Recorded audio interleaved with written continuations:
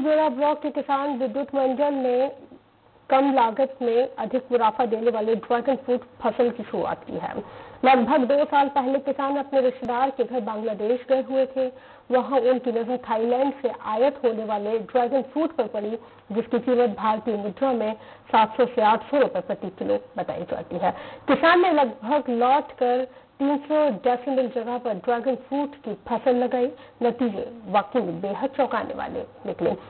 Dragon fruit की पैदावार अच्छी रही और लागत भी कम थी। अब किसान इस फ़सल को दो एकड़ में लगाने जा रहे हैं और किसान की माने तो इस फ़सल से सालाना प्रति एकड़ तीन से पाँच लाख रुपए तक का मुनाफा आसानी से कमा सकते हैं, जो अन्य फ़सलों से कमाना, कमा पाना मुश्किल है। और साथ ही फल डायबिटीज़ चर्म रोग सहित हृदय संबंधित कई रोगों से पीड़ित लोगों के लिए ये स्वास्थ्य के लिए बेहद फ़ायदेमंद है।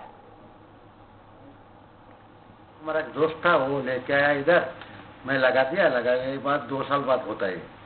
पहले पहले हल्का फुल्का होता है साल में दो बार होता है। कहाँ से लाए? ये मैं बांग्लादेश से मैं मंगाया है